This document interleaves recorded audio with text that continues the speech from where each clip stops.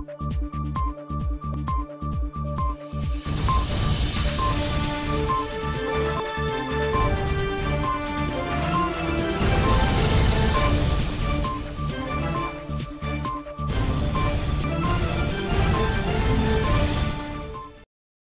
Shalini plus बातमीपत्रात मी सुनील आपलं स्वागत करतो. बातमीपत्राच्या सुरुवातीला पाहूयात हेडलाईन्स अमृतसर रेल्वे दुर्घटनेची न्यायालयीन चौकशी होणार? मुख्यमंत्री अमरिंदर सिंग यांची माहिती. वर्ध्यात मळणी मशीनमध्ये सापडून युवकाचा मृत्यू परिसरात हळहळ व्यक्त.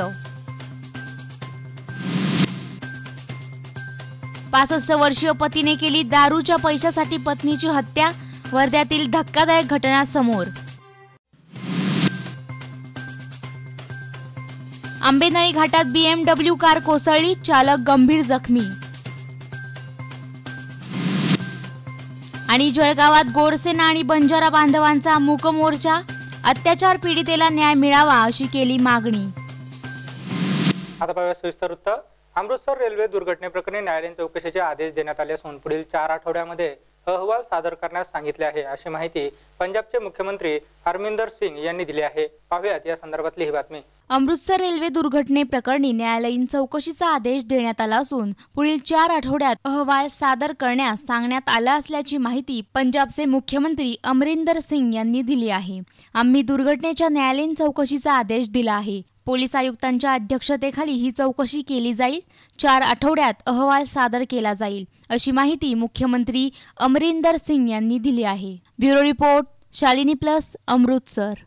Wardha जिल्ह्यातील शिरसगाव येथे एका पस्तीस वर्षीय युवकाचा सोयाबीन मळणी मशीनमध्ये अडकल्याने मृत्यू झाल्याची घटना समोर आली आहे.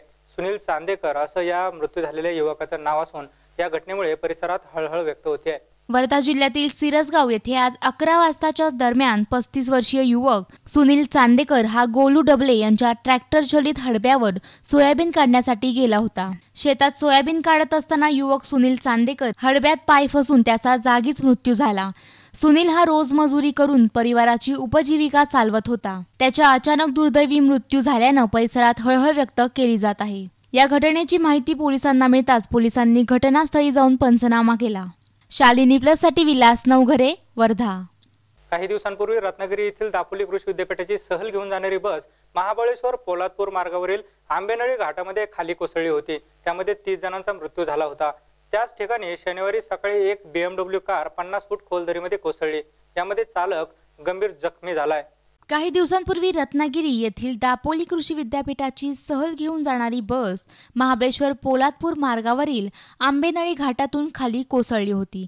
त्यामध्ये तीस जणांचा मृत्यू झाला होता. त्याच ठिकाणी शनिवारी सकाळी एक बी एम डब्ल्यू कार पन्नास फूट खोल दरीत कोसळली. यामध्ये चालक जखमी झाला आहे.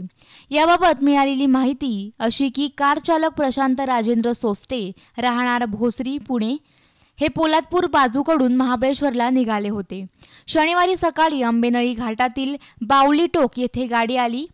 चालकाचा गाडीवरील ताबा सुटून गाडी पन्नास फूट खोलदरीत कोसळली. तर ससाटे हे गाडीतून बाहेर पडून झाडावर अडकून पडले. पाठीमागून येणाऱ्या एका गाडीतील चालकाने याची माहिती प्रतापगड येथील वाडा कुंभरोशी येथील ग्रामस्थ यांना दिली. त्यानंतर गावातील युवक आणि नागरिकांनी मदत कार्य राबवून त्यांना बाहेर काढले. त्यांना तेथीलच एका खासगी दवाखान्यात उपचारासाठी दाखल करण्यात आलं आहे. शालिनी प्लससाठी सकलेन मुलांनी कराड. वर्ध्यात पासष्ट वर्षीय दारुड्या पतीने पंचावन्न वर्षीय पत्नीची हत्या केल्याची घटना समोर आली आहे. दारूसाठी पैसे हवेत म्हणून पत्नीच्या नावे असलेले घर विकण्यास नकार दिल्याने त्याने हे कृत्य केल्याचे उघड झालं आहे. अवघ्या चोवीस तासात पोलिसांनी गुन्ह्याची उकल केली आहे. वर्धेच्या नटाळा पुनर्वसन पत्नीची पतीने हत्या केल्याचं बुधवारी रात्री उघडकीस आलं होतं. मृत महिलेचं नाव रेखा देवराज मोहिजे वय पंचावन्न असे आहे. मुलगी घरी परतल्यानंतर हा प्रकार उघडकीस आला. या प्रकरणी रामनगर पोलिसात गुन्हा दाखल केलाय.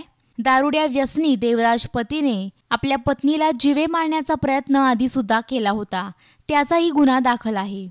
दारूच्या नशेमध्ये आईला खूप जोर द्यायचे की घर विकायचं आहे तुझ्या नावावर घर आहे तुझी साईन दे नाही तर मी तुला मारून टाकील. असं वगैरे खूप धमकी देत होते रोज आणि रोज दारू पिऊन यायची आणि रोज आईला मारझूड करायची. आणि आई म्हणत होती की नाही माझ्या मुलाच्या नावावर मला घर करायचं आहे मला विकायचं नाही आहे माझा नातू आहे माझी मुलं आहे मुली आहे त्यांना पण त्याच्यामध्ये हिस्सा वगैरे द्यायचा. ह्या गोष्टीसाठी माझ्या बाबांनी माझ्या आईला मारले. रेखा देवराव मोहिंजे ही पंचावन्न वर्षाची महिला आहे. या महिलेला तिचाच पती देवराव याने मर्डर केलेला आहे. मर्डर जो आहे हा तिचा पती दारू पिण्याचा सवयीचा होता. आणि त्याचे नेहमी प पत्नीसोबत वाद घालवायचे. त्यांना पाच मुली आणि एक मुलगा आहे सर्वांचे लग्न झालेले आहेत हे दोघंच पती पत्नी राहत होते आणि एक मुलगी जी नवऱ्याकडे त्रास असल्यामुळे त्यांच्याकडे येते ती तिघंजणं राहत होते. घटनेच्या दिवशी सकाळी पती पत्नीमध्ये वाद झालेला होता.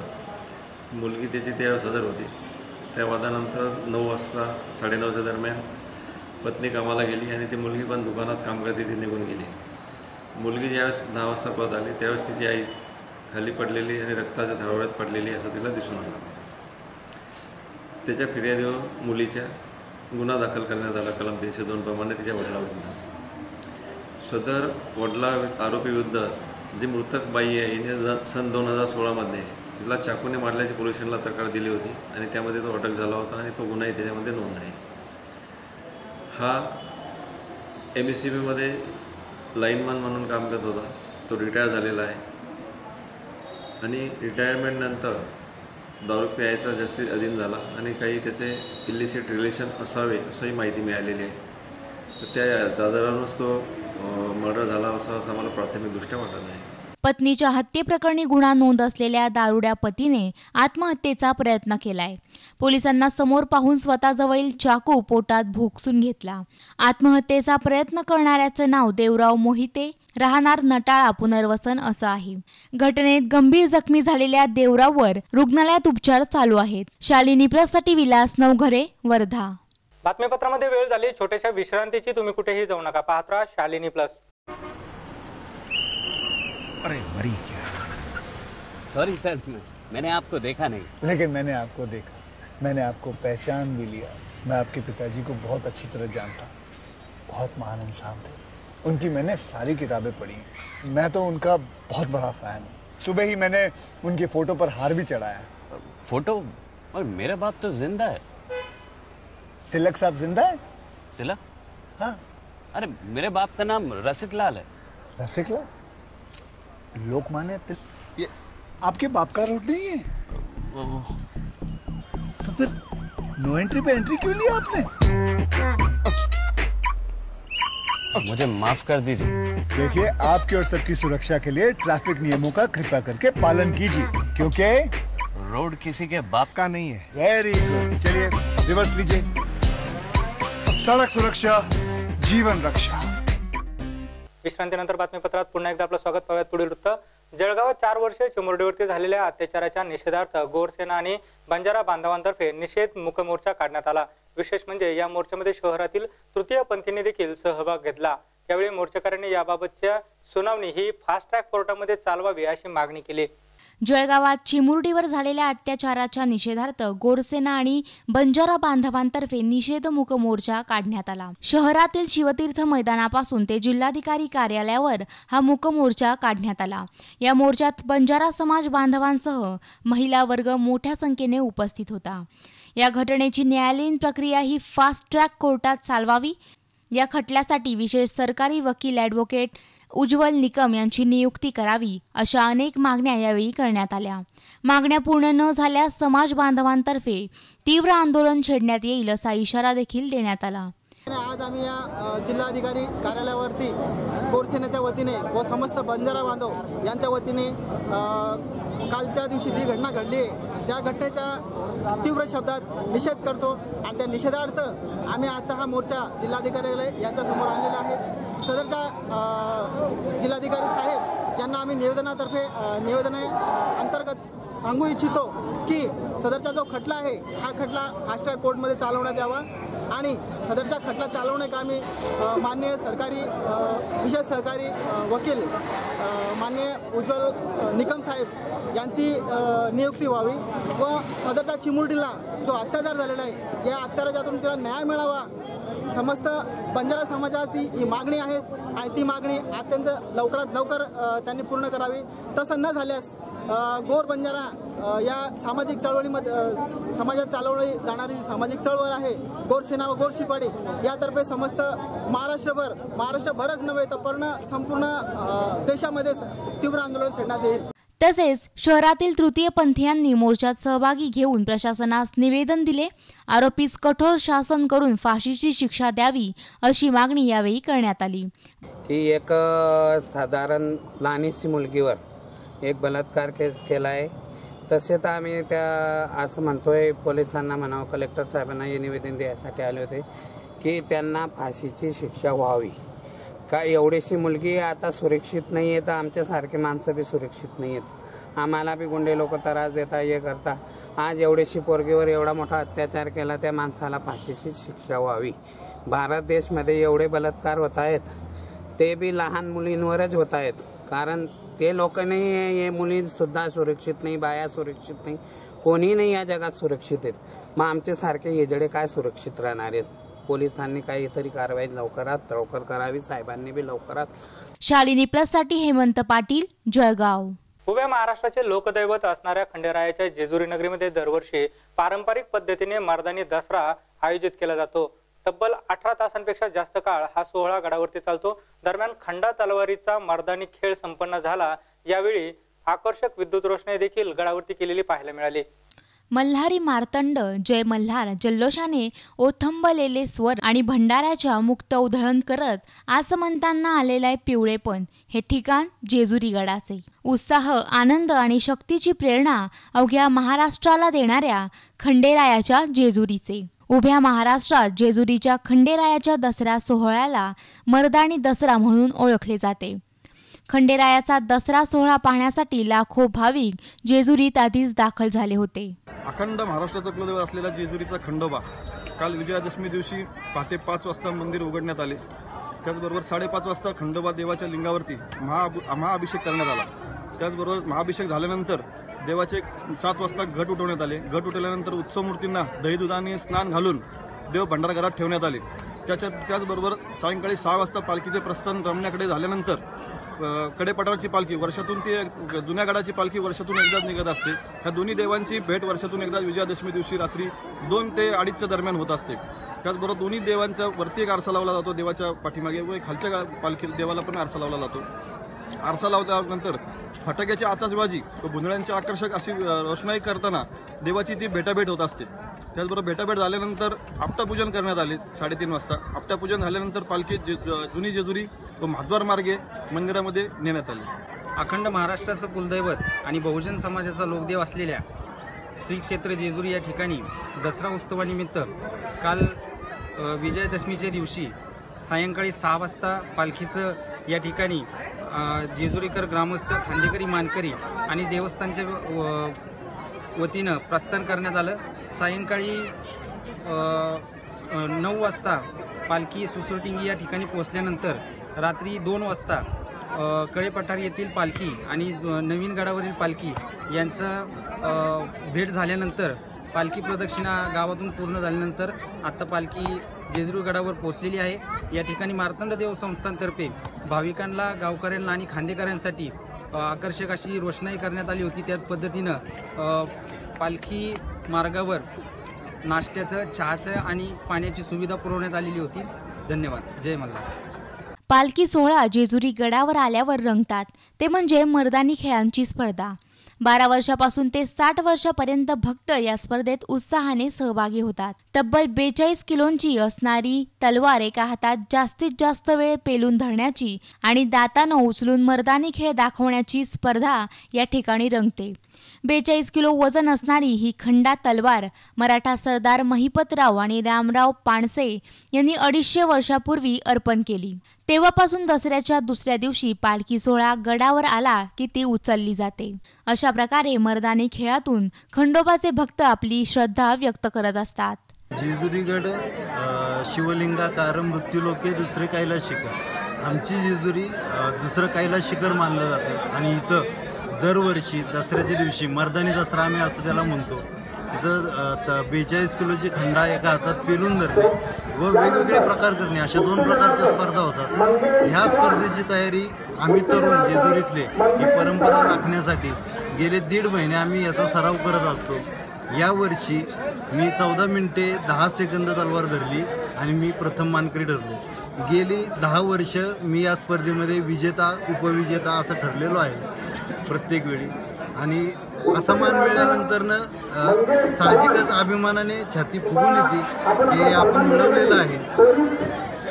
शालिनी प्लससाठी नवनाथ बोरकर बारामती. शेतकऱ्यांच्या विविध मागण्यांसाठी पुकारलेल्या चक्काजाम आंदोलनाच्या पार्श्वभूमीवरती सेवाग्राम येथे देखील आंदोलन करण्यात आलं. दरम्यान स्वाभिमानी शेतकरी संघटनेच्या माजी केंद्रीय मंत्री सुबोध मोहिते यांच्यासह कार्यकर्त्यांनी रस्ता रोखून धरला. पोलिसांनी कार्यकर्त्यांसह सुबोध मोहिते यांना ताब्यात घेतलाय.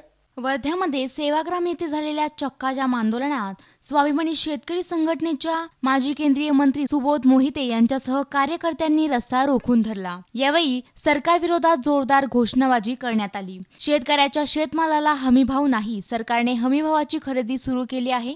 या सरकारने मुख्यमंत्र्यांनी राज्यपालांकडे राजीनामा दिला पाहिजे तर पंतप्रधान नरेंद्र मोदींनीही राजीनामा दिला पाहिजे अशी मागणी स्वाभिमानी शेतकरी संघटनेचे सुबोध मोहिते यांनी केली आहे. त्यावेळी सेवाग्राम येथील चक्काजाममध्ये पोलिसांनी सुबोध मोहिते यांच्यासह कार्यकर्त्यांनाही ताब्यात घेतलं आहे. शालिनी प्लससाठी विलास नवघरे वर्धा. श्री क्षेत्र वडवाळी येथील प्रसिद्ध असलेले हेमाडपंथी बालाजी मंदिर या ठिकाणी लक्ष्मीसह बालाजीची स्वयंभू मूर्ती असल्याने येथे यात्रेसाठी भाविकांची मोठी गर्दी होत असलेली पाहायला मिळते. आहे या संदर्भातली बातमी. पैठण तालुक्यातील श्रीक्षेत्र वडवाळी या गावात हेमाडपंत श्री बालाजीचे लक्ष्मीसह सुंदर आणि प्राचीन असे मंदिर आहे. दक्षिण गोदावरी तीरावर निसर्गरम्य असे ठिकाण आहे. शंखचक्र आणि उजव्या हातावर पद्म अशी चार फूट उंच असलेली स्वयंभू मूर्ती जी की पूर्ण वाळूची आहे. मूर्ती फार सुंदर आणि आकर्षक आहे. अश्विन वैद्य चतुर्थीस बालाजीचा ललित उत्सव असतो. विजयादशमीच्या दिवशी श्रींच्या पालखीची मिरवणूक निघते. तेव्हापासून यात्रेस प्रारंभ होतो. अश्विन वैद्य तृतीयेस रात्री श्री बालाजी छबीना मिरवणूक मोठ्या थाटात निघते. त्या दिवशी रात्री उशिरापर्यंत पालखी मिरवणुकीत भारुडे भजन पावली खेळली जातात. या उत्सवासाठी महाराष्ट्राच्या कानाकोपऱ्यातून भाविक येत असतात. औरंगाबाद जिल्ह्यातलं गाव. इथे पुरातन बालाजी मंदिर असून हे बालाजी मंदिर स्वयंभू मंदिर असल्यामुळं इथं दर वर्षाच्या अश्विन चौथीला म्हणजे ऑक्टोबर महिन्यात सप्ताहाच्या निमित्ताने एक यात्रा असते ललित उत्सव असतो. पण त्याच्यासाठी हरिनाम सप्ताह सुरू होतो. त्यात ज्ञानेश्वरी पारायण दुपारी गाथा भजन संध्याकाळी कीर्तन वगैरे होऊन शेवटच्या आठव्या दिवशी दहीहंडी काल्याचं कीर्तन होऊन त्या यात्रेचं स- समाप्ती होत असते. तर बालाजी ललित यात्रा प्रारंभ वीस ऑक्टोंबर दोन हजार अठरा रोजी सुरुवात होत आहे. तरी पंचकुशीतील लोकांनी व भक्तांनी जास्तीत जास्त या सप्त्यात शालिनी प्लससाठी सुरेश वायभट पैठण. जुन्नरच्या सह्याद्री व्हॅली कॉलेजमध्ये मुलींना जेवणातून विषबाधा झाल्याची घटना समोर आली आहे. उलट्या मळमळ जुलाब यांसारखे त्रास झाल्याने हा प्रकार समोर आला. यातील अकरा मुलींवरती राजूरच्या ग्रामीण रुग्णालयामध्ये उपचार सुरू असून एका मुलीवरती आळेफाटा येथील खासगी हॉस्पिटलमध्ये उपचार सुरू आहेत. जुन्नरच्या सह्याद्री व्हॅली कॉलेजमध्ये भाडेतत्वावरती जागा घेऊन सरकारच्या ग्रामीण विकास मंत्रालयातर्फे दीनदयाल उपाध्याय ग्रामीण कौशल्य विकास योजनेअंतर्गत ऐंशी मुली आणि सेहेचाळीस मुले या ठिकाणी शिक्षण घेतात. यातील सव्वीस मुलींना आज दुपारी जेवणातून विषबाधा झाली. यातील अकरा मुलींवरती राजुरीच्या ग्रामीण रुग्णालयात उपचार सुरू आहेत. आम्ही बिर्याणी खाल्ली होती तिखट होती त्याच्यामुळे जास्त त्रास झाला. पोटात दुखत होतं. संध्या दुपारचं पण आणि संध्याकाळी पण तेच होतं. त्याच्यामुळे जास्त पोटात दुखायला लागतं आणि थंडी वाढत होती. साधारणतः सव्वीस मुली रा दुपारी एक वाजता प्राथमिक आरोग्य केंद्र राजूर येथे पोटदुखी उलट्या जुलाब यासाठी आलेले होते उपचारासाठी. त्यातल्या आम्ही बारा ॲडमिट करून घेतल्या. त्यातली एक मुलगी अत्यावश्यक असल्यामुळं आय फाटे येथील खाजगी रुग्णालयात पाठवण्यात आली. बाकी अकरा जणींना आम्ही इथेच ट्रीटमेंट दिली. आणि सध्या आता स्टेबल आहेत सर्व. या घटनेशी सह्याद्री व्हॅली कॉलेजचा काही संबंध नसल्याचं कॉलेज प्रशासनाकडून सांगण्यात आलं आहे. आम्ही ही जागा भाडेतत्वावरती या संस्थेला दिली असल्याचं कॉलेज प्रशासनाकडून सांगण्यात आलं आहे. या मुलींना नक्की कॉलेज हॉस्टेलमधील जेवण खाल्ल्यानं विषबाधा झाली की बाहेरील काही खाल्ल्यानं विषबाधा झाली याचा तपास करणं गरजेचं आहे. या प्रकरणी आळेफाटा पोलीस या घटनेचा तपास करत आहेत. खरं तर आम्ही राजुरीमध्ये एक सह्याद्री कॉलेजमध्ये आम्ही एक फ्लोर अ, भाडेतत्वावर घेतलेला आहे. तसं बघायला गेलं तर या प्रकाराशी सह्याद्री व्हॅली कॉलेजचा काही संबंध नाही आहे मी जो प्रोजेक्ट चालवतोय आमच्या मॅनेजमेंटकडनं जो प्रोजेक्ट चालवला जातो तो ग्रामीण विकास मंत्रालयातर्फे दीनदयाल उपाध्याय ग्रामीण कौशल्य विकास योजना. त्या योजनेअंतर्गत काही मुली इथे आहेत ऐंशी आणि मुलं आहेत काही शेहेचाळीस अशी मुलं आहेत जी मुलं काल दसऱ्यासाठी काही घरी गेली होती. आणि काल त्यामुळे मेससाठी मुली आराम करत असल्यामुळे त्यांना जेवण तर पाठवलं होतं पण त्यांनी वेळेवर घेतलं नाही घेतलं. हे त्यांना सांगितलं होतं तरी सुद्धा त्यांनी थोडंसं अनियमितता झाली. त्यामुळे त्यांना उलट्या आणि जुलाबाचा त्रास व्हायला व्हायला लागला. सकाळी आल्यानंतर तो जास्त जाणवायला लागल्यानंतर आम्ही त्यांना गव्हर्नमेंटच्या हॉस्पिटलला राजुरी इथे ऍडमिट केलेलं आहे. आणि काय आता मी एक पाच मिनिटापूर्वी मुलींकडनं जाऊन आलोय. सगळ्या व्यवस्थित आहे. ज्याच्यामध्ये एका याची जी प्रकृती चिंताजनक होती तीही सुद्धा व्यवस्थित आहे. आणि मीडियाने असं सांगितलेलं आहे की सह्याद्री व्हॅली सह्याद्री व्हॅली तसं तर सह्याद्री व्हॅली कॉलेजशी आपला काहीही तसा संबंध येत नाही. त्यांच्याकडनं आम्ही भाडेतत्वावर तो ती जागा घेतलेली आहे. आणि आम्ही आमचे प्रोजेक्ट्स जे आहेत ते वेगळे आहेत. तर तरी सुद्धा कोणी सह्याद्री कॉलेजचं नाव पुढे आणू नये असं मला वाटतं. शालिनी प्लससाठी रुपेश चापुडे जुन्नर पुणे. पुरंदर तालुका हा फळबागांसाठी प्रसिद्ध तालुका आहे. पुरंदरच्या सासवड येथे सीताफळ अंजीर डाळिंब या प्रकारच्या फळांचे विक्रमी उत्पादन घेतलं जातं. येथील फळांना चांगला भाव मिळत असल्याने शेतकरी देखील समाधानी आहे. पुरंदर तालुका हा फळबागांसाठी प्रसिद्ध तालुका म्हणून ओळखला जातो. सीताफळ अंजीर डाळिंब या प्रकारच्या फळांची विक्रमी उत्पादने या तालुक्यात होतात. ग्रामीण भाग असला तरी सीताफळ आणि अंजीर यांचा मोठा बाजार या सासवड ठिकाणी पहाटे तीन ते नऊ या वेळात मोठ्या प्रमाणात भरतो. विक्रेते आसपासच्या गावातूनच येतात मात्र ठोक दरात या फळाची आडत घेणारे व्यापारी हे पुणे मुंबई या ठिकाणावरून येतात. सध्या सीताफळ बाजार जोरात चालू आहे. एक कॅरेटला ठोक दर एक हजार प्रमाणे सध्याचा दर आहे. साधारण वीस किलो सीताफळ एका कॅरेटमध्ये बसतात. हात विक्रीवर सत्तर ते ऐंशी प्रति किलोचा भाव आहे. गेली दोन वर्ष बुरशी हा रोग सीताफळावर असल्यानं शेतकरी चिंतेत होते. यावर्षी सीताफळावर बुरशी या रोगाचं प्रमाण नसल्यानं बऱ्यापैकी शेतकरी हे यावर्षी समाधानी आहेत. सासवडमध्ये बेल बाजाराजवळ हा सीताफळ बाजार मोठ्या प्रमाणात भरतो.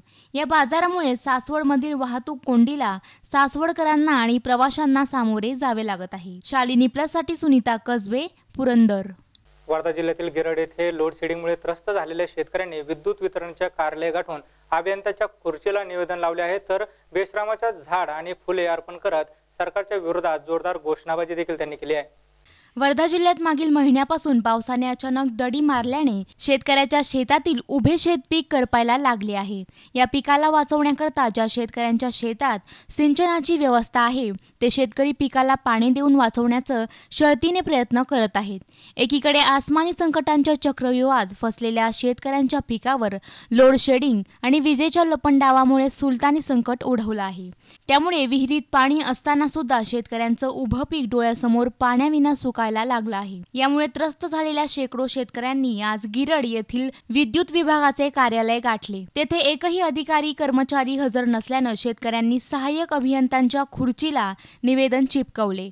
खुर्चीला हार चढवून बेशरमच्या झाडाची भेट देत आपला रोष व्यक्त केला. विद्युत विभागाच्या आणि सरकारच्या विरोधात जोरदार घोषणाबाजी करीत दिवसाच्या बारा तास अखंड वीज पुरवठा देण्याची मागणी यावेळी करण्यात आली.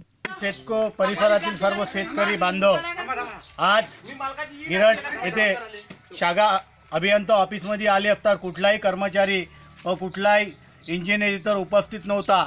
शेतकऱ्याला सतत आठ दिवसापासून सतत त्रास होत आहे. पाच पाच मिनिटांनी पाच पाच मिनिटांनी लाईन जात आहे आणि शेतकऱ्याला वेळोवेळी त्रास होऊन शेतकऱ्याचा मालाचं नुकसान भरपाई कोण देणार आहे? आणि सर्व शेतकरी शेकडो शेतकरी आमच्यासोबत आले आहे. आणि इथं कुठलाही अधिकारी निवेदन घेण्यास तयार नाही. पोलीस स्टेशनला गेलो असतात पोलीस स्टेशनला निवेदन दिलं. याच्याकडे कुणाचंही लक्ष नाही. कालपासून सतत पाच पाच मिनटात हे होऊन जवळपास परिसरातल्या पंचवीस ते तीस मोटारी जळाल्या आहे. त्याची नुकसान भरताय भरपाई म्हणून आम्ही ग्राहक मंचात जाऊन कोर्टात केस करू इलेक्ट्रिक अभियंत्यावर. कारण की वारंवार हा त्रास होत आहे.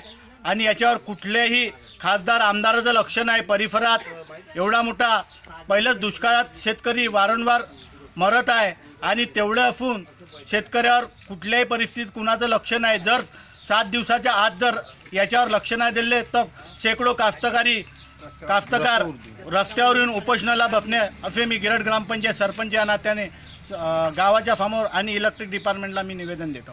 कास्तकार असून आम्हाला रात्रीची चार दिवस लाईन आणि दिवसाची तीन दिवस लाईन मिळते. रात्री माणसाने कसं पाणी वलायला जावं हा प्रश्न आहे. काहून का आमच्या इकडं वाघाचा आणि डुकराचा हौसात एवढ्या प्रमाणात आहे. रात्री पाणी वलायला गेले असता दहा दहा बारा बारा जनावरं निघते. आणि पाणी वलता वलता साप विंचू इंगूर याच्यामुळं त्रास आहे. रात्रीचं पाणी कोण ओलू शकते? एखाद्या खासदारांना आमदारांना किंवा ऊर्जा मंत्र्यांना आमच्या वावरात येऊन रात्रीचं दोन तास जर पाणी जर ओलून दिलं तर मी त्याची जन्मभर एवढी माझ्यामध्ये ताकद आहे. त्यांनी फक्त रात्री यावं दोन तास पाणी ओलून दाखवावं. आणि कोण्या पद्धतीनं? आणि रात्री जर डीपीवरचा फ्यूज गेला दिवो जळला तर तो कोण दुरुस्त करायला रात्री? काहून का पाच वाजताच्या नंतर इंजिनियर आणि कर्मचारी लोक आपापल्या घरी जाऊन झोपतात? आमचा फेज जर गेला तर रात्री कोणी टाकायचा? तो ऊर्जा मंत्री येणार आहे की एमबीसीपीचे ऑफिसवाले कोण येणार आहे? अशी याच्यामध्ये काही नाही. सरकारचा सावळा गोंधळ आहे. सरकारचं कशावरही नियंत्रण नाही आणि आमचा या सरकारवर विश्वास राहिलेला नाही. सरकार सांगते कास्तकाराचं दीडपट आम्ही उत्पन्न वाढवणार आहोत. हे त्यांची हे दिसते परिस्थिती दीडपट उत्पन्न वाढवण्याची. त्याचं एकच धोरण आहे कास्तकार कास्तकार राहिले पाहिजे ते मेले पाहिजेत फक्त आम्हाला मतदान पाहिजे. मतदानाच्या व्यतिरिक्त कास्तकाराकडून कोण्या सरकारची अपेक्षा नाही. त्याच्यापेक्षा आम्ही यानंतर कास्तकार बंधू सर्व लोकांनी आम्ही तुमच्यावर मत मारण्याचा म्हणजे आम्ही बहिष्कार टाकणार. शालिनी प्लससाठी विलास नवघरे वर्धा. पंजाबमधील अमृतसर येथे अपघाताच्या ठिकाणी गेलेले राज्याचे मुख्यमंत्री कॅप्टन अरविंदर सिंह यांनी अवघ्या दीड मिनिटातच आपली भेट आटोपली. संतप्त नागरिकांनी घटनास्थळी जोरदार घोषणाबाजी देखील केल्याचे समजत आहे पंजाबमधील अमृतसर रेल्वे अपघातातील मृतांची संख्या एकसष्ट वर पोहोचली आहे. या अपघाताच्या सोळा तासानंतर राज्याचे मुख्यमंत्री कॅप्टन अमरिंदर सिंग यांनी घटनास्थळाला भेट दिली. मात्र अवघ्या दीड मिनिटातच सुरक्षा रक्षकांच्या गराड्यात अमरिंदर सिंग यांनी आपली भेट आटोपली. यावेळी त्यांच्यासोबत स्थानिक आमदार आणि मंत्री नवज्योत सिंह सिद्धू देखील उपस्थित होते. रेल्वे अपघातानंतर संतप्त नागरिकांची घटनास्थळी जोरदार घोषणाबाजी सुरू आहे. सुरक्षा रक्षकांच्या फौज फाट्यात मुख्यमंत्री दाखल झाले. मात्र रेल्वे रुळापर्यंत पोहोचू शकले नाही. त्यामुळे मुख्यमंत्र्यांना आपली भेट आवरावी लागली. Bureau report Shalini plus Amritsar शेतकऱ्यांच्या विविध मागण्यासाठी स्वाभिमानी शेतकरी संघटनेने आज संपूर्ण राज्यभर चक्का जाम आंदोलनाची घोषणा केली. दरम्यान याच पार्श्वभूमीवरती आज बुलढाणा जिल्ह्यामध्ये ठिकठिकाणी चक्का जाम आंदोलन करण्यात आलं. शेतकऱ्यांनी रस्त्यावरती टायर जाळून सरकारच्या विरोधात जोरदार घोषणाबाजी केली. बुलढाणा जिल्ह्यात स्वाभिमानी शेतकरी संघटनेच्या चक्का आंदोलनाला सुरुवात झाली आहे. सोयाबीन आणि कापसाला हेक्टरी पन्नास हजारांची मदत मिळावी यासह विविध मागण्यांसाठी विदर्भ मराठवाड्यात आज स्वाभिमानी शेतकरी संघटनेचे चक्काजाम आंदोलन सुरू झाले आहे. बुलढाणा जिल्ह्यात ठिकठिकाणी चक्काजाम आंदोलन करण्यात येत असून स्वाभिमानाचे प्रदेशाध्यक्ष रविकांत तुपकर हे सातपुड्याच्या पायथ्याशी संग्रामपूर तालुक्यात वरवट येथे करत आंदोलनात सहभागी झाले आहेत. शालिनी प्लससाठी संदीप वानखेडे बुलढाणा. वाळवामध्ये शॉर्ट सर्किटमुळे लागलेल्या आगीमुळे शेतातील ऊस पीक जळून खाक झाल्याची घटना समोर आली आहे. विजेची तार तुटून ऊस पिकामध्ये पडल्याने ही आग लागली. यावेळी मोठ्या प्रमाणामध्ये आगीचे डोम दिसून येताच शेतकरी अरविंद महाडिक आणि त्यांच्या मित्राने आग विझवण्याचा प्रयत्न केला. मात्र तोपर्यंत तीन एकर ऊस जळून खाक झाला. विद्युत महावितरणाच्या गलथान कारभारामुळे शेतकऱ्यांचं लाखोंचं नुकसान झालंय.